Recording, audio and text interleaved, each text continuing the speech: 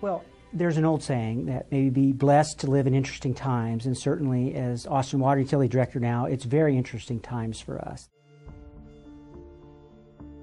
I, grew up in the Midwest. I grew up in uh, Great Lakes community. I didn't give a lot of thought at that age about uh, how water uh, was used in, in communities. You know, it just seemed quite abundant. But certainly when you come to Texas, that perspective changes uh, very rapidly. If I go to a social event or a party or a meeting and they ask me what I do and I describe that I'm Austin Water Utility Director, the first thing to do is start asking me questions because water is very personal to people, just as we described. You know, again, you're drinking it, you're eating with it, it's important to you, and people want to know about water. They want to know how they can contribute to water. They want to know why we're making decisions about water and how water is affecting them and their future and their grandchildren, and they all have an opinion on water.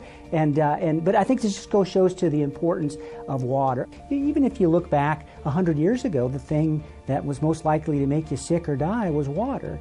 And, uh, and here in the United States, that's all changed. We don't think about uh, water as being a threat to our public health, and that's because of the professionals that are involved uh, all across our industry, literally millions of people. I have over 1,100 employees working in Austin Water. I consider all of them public health specialists, environmentalists, that every single day they're out there providing this critical service to our community, protecting our natural resources, and uh, it's just a proud tradition, and I'm honored to be the director of such a great organization.